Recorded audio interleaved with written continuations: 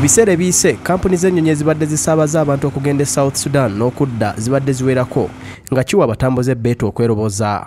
Ku zino kubaddeko kenya airways air uganda ne rwanda air. Wabula nabeeyaga ku kampuni ya air uganda eyayimirizibwa ekitongole ky'ennyonyi kya civil aviation authority saako olutalo olutiisizza kampuni endala okugenda e south sudan ziviiriddeko emiwendo okweyongera kino kiwaliriza kampuni ya ethiopian airlines okutandika okusaabaza abantu ku lugendo luno. Ekisuubira okukendeeza ku bisale saako omujjuzo gw'abasuubuzi abagenda mu ggwanga lya south sudan n'okudda naddala bannayuganda.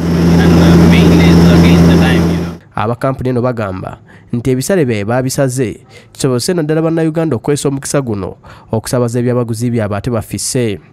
We uh, have a very attractive uh, fare and uh, on economy as well as on uh, business class and uh, our rate is far more uh, lower and uh, affordable. mu kiseera kino tiketi yonnyonyi ebadde ku ddoola ng'olukaaga aba ethiopian airlines bagisaze okutuuka ku ddoola bina have got a very good brand and uh, becoming one of African, Pan-African airline. We have a very good reputation. Accordingly, we are the number of passenger traveling on our flight is increasing time to time.